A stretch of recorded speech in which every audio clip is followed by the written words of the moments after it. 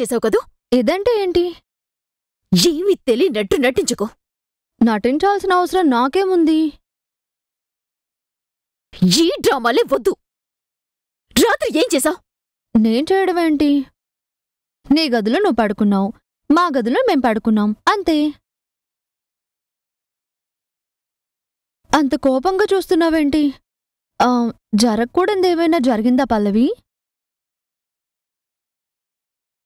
తమాషాలు చేయకు. నేను కమల్ ఫిజికల్గా దగ్గరయ్యేలాగా ఏం ప్లాన్ చేసావో చెప్పు. ఓ అదా? అంటే ఇన్ని రోజులు నువ్వు అవాయిడ్ చేస్తూ వస్తున్న శోభనం? రాత్రి జరిగిందన్నమాట. Good news Pallavi.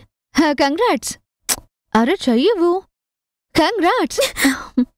ఏం చేసావో మర్యాదగా చెప్తావా లేదా? అబ్బే నేనేం చేయలేదు పల్లవి. చేయాల్సిందంతా పద్ధతిగా మీ అమ్మగారే చేశారు.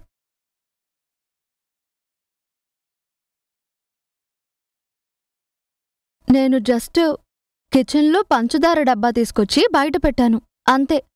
ఆ తర్వాత చేయాల్సిన అసలు కార్యక్రమమంతా మీ అమ్మగారే చేశారు. కాదు కాదు. నేనే చేయించాను. హా అదమ్మా. జరిగిన త్రీడీ సినిమా.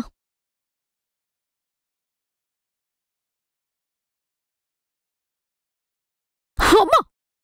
నువ్విలాంటి పని చేస్తావని నేను అనుకోలేదు.